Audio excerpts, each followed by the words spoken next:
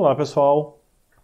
Dando continuidade ao nosso estudo dos gases, quero trabalhar agora com vocês o que, que acontece quando tu varia a temperatura de um gás, mantendo ele em volume constante. Então, acho que a maneira mais uh, usual aí de você ter um volume constante é ter ele em algum recipiente com paredes rígidas, como um cilindro metálico. Então, vocês estão vendo aqui alguns cilindros de gás, certo? Eu peguei um, uma foto de um cilindro de hélio. As pessoas que enchem balão de hélio, aqueles balões de festa, uh, usam normalmente um cilindro que nem esse aqui, cor-de-rosa. E aqui do lado, esse outro cilindro marrom, ele pode ser usado para nitrogênio, ou oxigênio, ou argônio.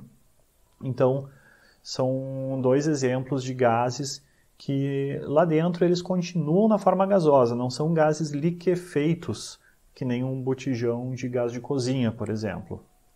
Então, uh, ok, esses recipientes aqui, eles são de paredes rígidas, o volume vai se manter constante se eu variar a temperatura, certo? Tirando variações ínfimas devido à dilatação térmica do metal, mas basicamente o volume fica constante. Eu te pergunto, o que acontece se eu começar a esquentar um cilindro como esse? Pois é, provavelmente tu deve imaginar que a pressão vai aumentar, certo? Então, conforme eu pego e eu aumento a temperatura, a pressão ali dentro vai começar a aumentar. É isso mesmo. Tanto que quando um cilindro é fortemente aquecido, existe o risco de explosão, certo? Aliás, se vocês olharem na internet, tem vídeos de acidentes que já aconteceram no passado com cilindros de gases que explodiram violentamente justamente por um manuseio inadequado ou por terem sido colocados né, em contato com o fogo. Em contrapartida, se eu abaixar a temperatura, o que, que acontece? Bom, a pressão começa a diminuir, certo? Então ele vai diminuir a pressão. Você, é, você pode até conectar aqui uma, uma, uma mangueira, uma válvula que você abre, enfim, e você vai ver que ele vai sair com menos força se tiver uma temperatura muito baixa. Então, uh, como que a gente explica né, esse, esse comportamento? Qual, qual, da onde que ele está vindo? Então, imagina aqui esse modelo, certo, em que nós temos uh, cilindro, dois cilindros, né, ou melhor, o cilindro uma baixa temperatura e depois que ele é aquecido. O que, que acontece com as partículas de gás? Vamos dizer aqui moléculas ou átomos do gás que estão ali dentro, eles colidem contra as paredes e com isso surge a pressão, né? que um manômetro, por exemplo, ele registra aqui uma pressão baixinha no uh, gás que está numa temperatura mais baixa. Agora, se você aumentar a temperatura, as tuas moléculas elas estão se movendo em alta velocidade lá dentro. Isso significa que elas colidem mais violentamente contra as paredes, gerando uma maior pressão. Isso sem falar que, como elas estão indo rápido, elas demoram menos tempo para chegar até uma parede, certo? Então, são colisões mais frequentes e mais fortes, pancadas mais fortes contra a parede. Então, consequentemente, a pressão que existe aqui é uma pressão maior, certo? Se você for uh, pegar o termômetro, pegar o manômetro, fizer medidas, fizer um estudo experimental para ver como é que é a relação, você vai encontrar dados mais ou menos assim. Conforme a tua temperatura aumenta, você vai aumentando a pressão, a, a, você vai encontrando né, pressões cada vez maiores. Então aqui, numa temperatura mais baixa, a pressão é baixinha. Uh, aumentando um pouco a temperatura, a pressão fica um pouco maior. E assim por diante, né, até que vai chegando aqui no último ponto da série, em que a maior temperatura tem a maior pressão. Então, posso dizer que eles são diretamente proporcionais? Não, neste gráfico não, porque a nossa temperatura Celsius, certo? É a que está sendo usada. E aqui você percebe que esse, essa linha, embora seja uma linha reta, ela não está partindo aqui da origem. ela parte de algum ponto mais lá atrás. Então é mais ou menos que nem no vídeo anterior, certo? Isso aqui nos leva à necessidade de trabalhar com uma escala absoluta de temperatura. Se você trabalhar com uma escala absoluta, aí sim a pressão vai ser proporcional à temperatura, certo? Você tem aqui um, os pontos formando uma linha reta que apontam aqui para a origem, certo? Na temperatura de 0 Kelvin, você tem uma pressão que é zero. Se você tem aqui este ponto, vamos, vamos dizer que esse aqui seja 300 Kelvin, certo? E ele tem uma pressão de 1 atm. Então, é claro que um outro ponto que tem o dobro da temperatura, por exemplo, esse último aqui, suponha que ele tenha 600 Kelvin a temperatura, então ele vai ser também né, com uma pressão que é o dobro, certo? Então 2 atm. É isso. A tua pressão é diretamente proporcional à temperatura. Consequentemente, se tu uh, levar a temperatura até zero, a pressão tende a se tornar zero, certo? Então tá. O, o cientista que estudou e ficou famoso por, esse, por essa análise é Gay-Lussac, né? Existe essa lei chamada lei de Gay-Lussac, então, em que nós dizemos que a pressão é diretamente proporcional à temperatura, ou seja, escrevendo em, em, como uma equação matemática P igual a uma constante vezes a temperatura, onde essa temperatura é a temperatura absoluta, certo? K é uma constante de proporcionalidade, mais ou menos que nem a gente viu nos vídeos anteriores, no mesmo estilo. E o nome da lei, né, também é, uh, às vezes é chamado lei das isométricas, ou das isovolumétricas, ou das isócoras.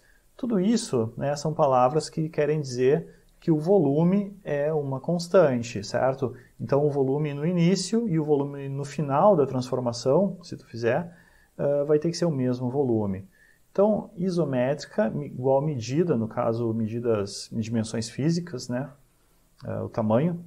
Uh, isovolumétrica um, igual volume. Ou isócora, né? Cora vem do grego e quer dizer como que o espaço, certo? Uma, o tamanho de uma região. Então, é isso. Gente, uh, se você quiser, né? Você pode usar essa equação para comparar duas condições, que eu vou chamar de condição inicial e final, ou então condição 1 e condição 2, o estado do gás no momento 1 e no momento 2.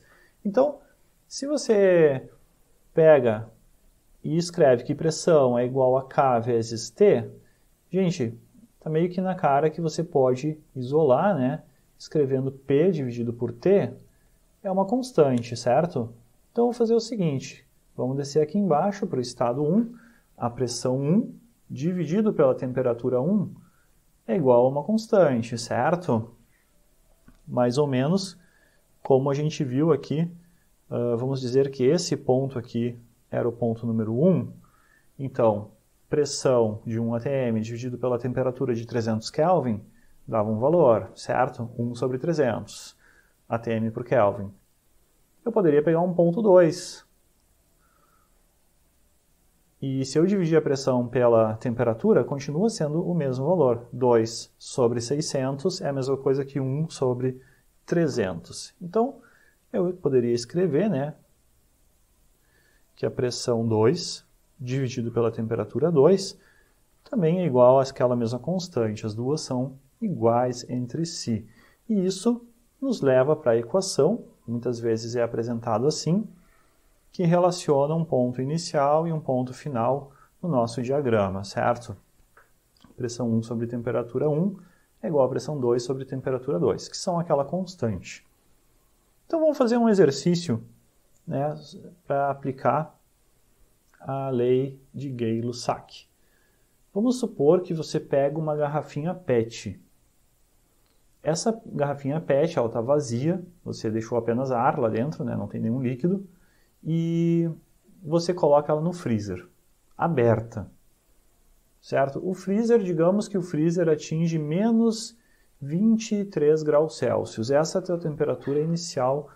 Então, eu vou escrever aqui, a temperatura 1 é menos 23 graus Celsius. Isso vai dar quanto em Kelvin?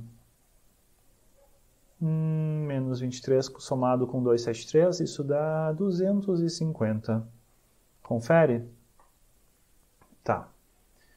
Aí, você fecha a garrafa, certo? Você fecha a garrafa e deixa ela voltar à temperatura ambiente. Você tira do freezer. E vamos dizer, né, que a temperatura ambiente é de 27 graus Celsius. Então, a temperatura no estado 2, o estado final, é de 27 graus Celsius. Em outras palavras, a temperatura 2 é de quantos Kelvin? É, 300 Kelvin, né? É só somar 273 e está aí. E a minha pergunta, o que acontece com a pressão do ar dentro dessa garrafa? Hum, ninguém falou qual era a pressão inicial, mas a gente pode dizer que a pressão final vai ser o quê? Vai ser um pouco maior ou um pouco menor? Obviamente, né, vai ser um pouco maior, porque a temperatura cresceu. Se a temperatura cresceu, a pressão também tem que crescer, certo? de 250 vai para 300, não é isso? Gente, qual é a razão entre essas duas temperaturas? Vamos botar aqui, ó. Eu pergunto, a temperatura final é quantas vezes a temperatura inicial? Ou seja, é 300 divididos por 250, corto um zero com zero. 30 por 25 é como 6 sobre 5, dá para simplificar e 6 sobre 5 dá 1,2. Até dá para fazer de cabeça, olha só. 1,2. Então, isso quer dizer que a temperatura 2 é 1,2 vezes a temperatura 1. Então, eu posso dizer também né, que a pressão 2 dividido pela pressão 1 vai ter que ser igual a 1,2 porque elas crescem na mesma proporção que a temperatura, certo? A pressão cresce na mesma proporção que a temperatura. Em outras palavras, a pressão no final é 1,2 vezes a pressão inicial. Você pode dizer isso, certo? Ou a pressão 2 é 20% maior que a pressão inicial. Concorda? É, pois a temperatura 2 é 20% maior que a, a temperatura 1. Então, você, aqui eu fiz tudo por raciocínio lógico. Claro que daria para aplicar fórmulas, né? O sujeito poderia escrever aqui P1 sobre T1 é igual a P2 dividido por T2, e daí você mexe para lá e para cá, você vai ter que hum, pressão 1 vezes T2 sobre T1 é igual a pressão 2, concorda? Que se eu passar esse T2 multiplicando para o lado de lá, eu vou ter exatamente isso. Ops. Eu passo ele para cá tem o resultado que está aqui embaixo.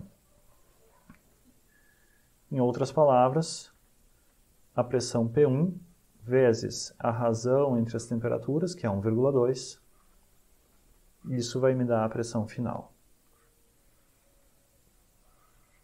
Fechou? Então, se por acaso, né, vamos dizer que a pressão era, se, se a pressão inicial era de 1 atm, então, a conclusão é que a pressão final, quando você tira a garrafa, ela se torna 1,2 atm. Então, é, pode fazer isso aí na prática, esse experimento na prática, e quando tu abrir a garrafa, tu provavelmente vai escutar o ar uh, pressurizado escapando. Como ficou uma pressão um pouco acima da pressão ambiente, vai sair um pouco de ar de dentro da garrafa no momento que tu abrir, certo? Então tá. Isso foi, então, a lei de Gay-Lussac. Qualquer dúvida, qualquer dificuldade aí, por favor, entre em contato e a gente tenta solucionar, a gente conversa. Um abraço.